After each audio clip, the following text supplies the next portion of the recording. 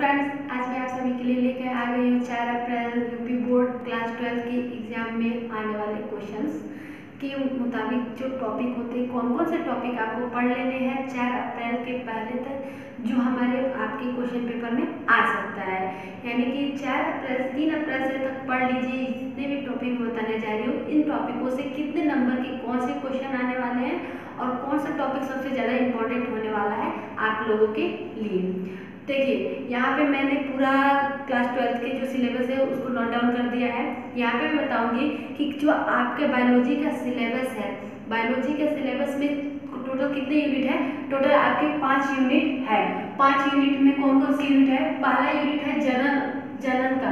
यानी कि जनन से चौदह नंबर के क्वेश्चन आने वाले हैं। दूसरा आपका है यूनिट अनुवांशिकी और विकास। इससे आपके कितने नंबर आने वाले फ्रेंड्स अठारह नंबर। तीसरा यूनिट जीवन, जीव विज्ञान और मानव कल्याण। इससे भी चौदह अंक आने वाले हैं।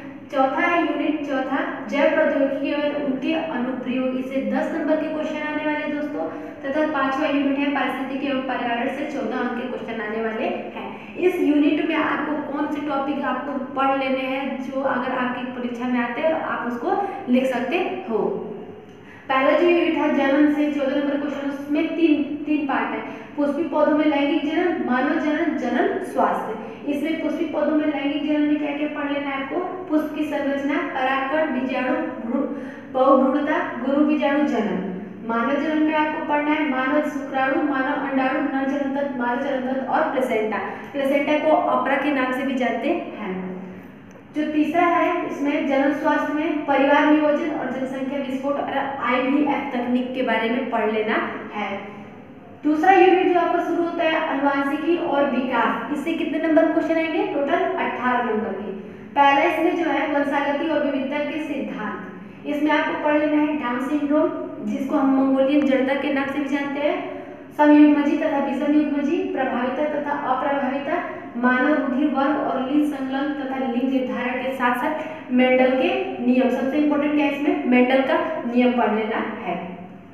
वंशागति का आणविक आधार, जो इसका दूसरा टॉपिक है, उसमें पढ़ना आपको हेट्रोक्रोमेटिन यूक्रोमेटिन डीएनए आरएनए में अंतर, मानव जीनोम परियोजना फिंगरप्रिंटिंग यानी कि DNA fingerprinting DNA model DNA model मतलब डबल हेलिक्स मॉडल किसने प्रस्तुत किया था? वॉटसन और क्रिक क्वेश्चन ये भी आ सकता है वॉटसन और क्रिक के द्वारा प्रस्तुत किया हुआ डीएनए मॉडल प्रस्तुत कीजिए।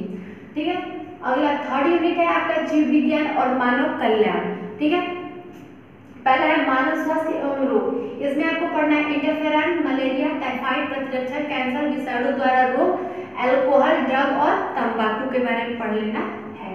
दूसरा इसमें है मानव कल्याण में सूक्ष्म जीव यानी कि प्रतिजैविक बायोगैस वाहितमल जैव उर्वरक सूक्ष्म जीव की भूमिका। ये आपका यूनिट थर्ड से क्वेश्चन आएँगे, इसके आधार पे। यूनिट फोर है जैव प्रौद्योगिकी और उनके अनुप्रयोग से कितने नंबर के क्वेश्चन आएँगे? टोटल दस नंबर के आने वाले हैं। इसमें आपको पढ़ना है सिद्धांत एवं प्रक्रम, यानी कि मतलब कि जैव प्रौद्योगिकी सिद्धांत एवं प्रक्रम में आपको पढ़ लेना है प्लाज्मिड, पीसीआर, एंजाइम, पॉलीमरेज, श्रृंखला। दूसरा, इसका उपयोग जैव प्रौद्योगिकी के उपयोग में आपको पढ़ना है बायोपेरेसी जैव तकनीकी। ये दो टॉपिक पढ़ लेनी है। यूनिट पाँच आता है पारिस्थितिकी एवं पर्यावरण से आपके चौदह नंबर की क्वेश्चन आने वाले फ्रेंड्स इसमें आपको पढ़ लेना है जीव तथा पर्यावरण में पढ़ना है सजीवन, सहकारिता सहभोजता और अनुकूलन।